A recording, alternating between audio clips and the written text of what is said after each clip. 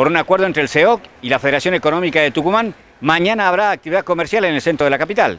Eh, hoy estaba como reunido con la Federación Económica, el compañero Juan Arimendi, que fue quien va por el gremio, para poder arreglar para el día sábado, ¿no? para este sábado que los empresarios han pedido que se puedan este, trabajar el día sábado, que es feriado nacional, una nota que hicieron la semana pasada, y lo tratamos ayer y hoy al tema.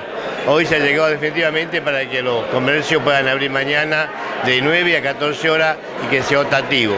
Aquellos comercios que quieran abrir lo pueden hacer, aquellos trabajadores que quieran trabajar pueden hacerlo, porque hay mucho compromiso, sabemos que es una fecha muy importante, es un feriado nacional, pero también por pedido de la Federación y por la situación económica que está pasando el país, creo que podríamos llegar a un acuerdo. Bueno, esto fue lo que se ha firmado hoy a la mañana con la Federación Económica. ¿Qué va a pasar con el resto de las fechas que son importantes para la fiesta? ¿Ya se ha avanzado en eso?